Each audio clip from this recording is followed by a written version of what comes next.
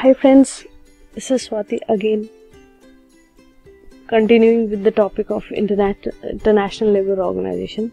So today we'll talk about the structure of International Labour Organization.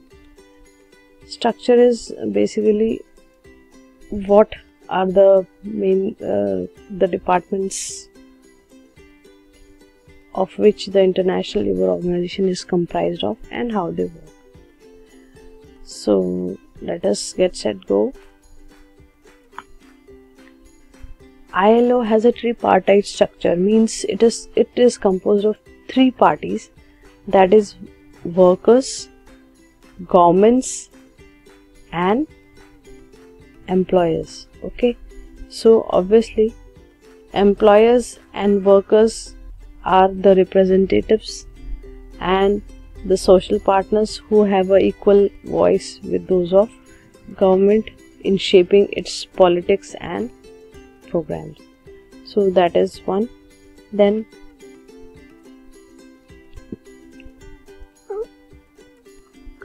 it is composed of three bodies okay? International labor conference and uh, governing body and the international labor office. So international labor conference meets yearly and it works on making conventions and recommendations and reports on the application of these recommendations. Then the second uh, body is the governing body which determines the agenda of conference and directs work of labor office.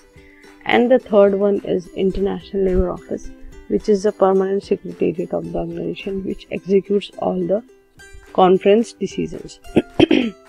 Now talking about each one of them in uh, a brief. International labor conference is also known as parliament of labor so it organizes the International Labour Conference in Geneva every year and makes decision about ILO's general policy, work, work program and budget. Now the second body is the governing body of ILO. It is the executive body which comprises of 28 governments, 14 employees and 14 work representatives. Okay. And obviously 10 of the titular government seats are permanently held by states of industrial importance. These are basically Bra Brazil, China, France, Germany, India, Italy, Japan, the Russian Federation, the United Kingdom, and USA. So the governing governing body's function is that it takes decisions on, on ILO policy, it decides the agenda of the conference and elects the Director General, appoints the members of CESR ACR and is involved in the supervision of application of international labor standards.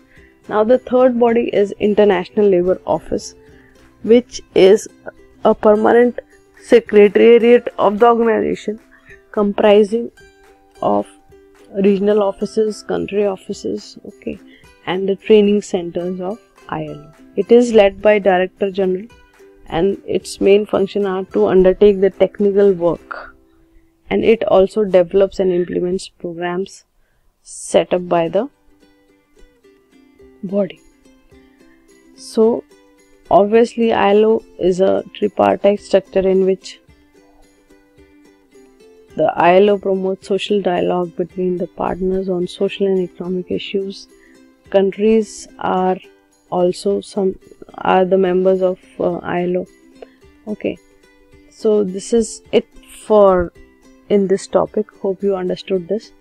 I will again come back with another new topic related to ILO. Just be on the watch.